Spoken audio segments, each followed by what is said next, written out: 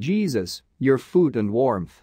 Our Lady to Gisella Cardia on January 16, 2021. Dear children, thank you for being here in prayer. Bend your knees. I am here to welcome you into my heart and to grasp your hands. My children, do not be afraid and agitated about what will happen, but trust me, you will lack nothing if you invoke Jesus.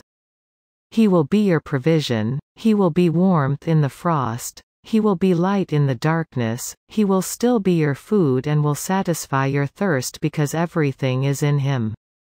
My beloveds, do not waste time, approach faith with an open heart.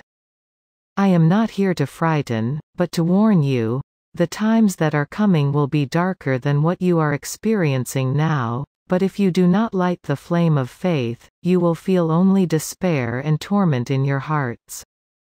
Children, I am calling you to redemption. The greater your suffering, the stronger you will get up again. I want you all to be saved. Take the sword of love and God will do justice. Now I leave you with my motherly blessing in the name of the Father and the Son and the Holy Spirit. Amen.